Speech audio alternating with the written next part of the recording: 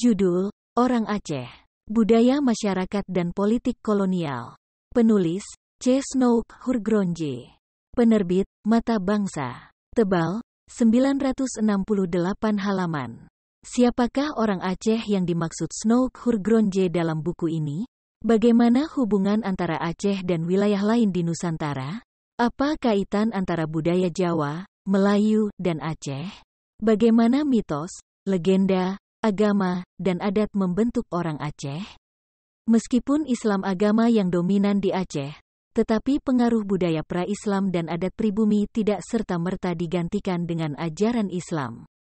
Karena Islam yang dibawa ke Aceh pun tidak selalu memberi warna dan penafsiran yang sama.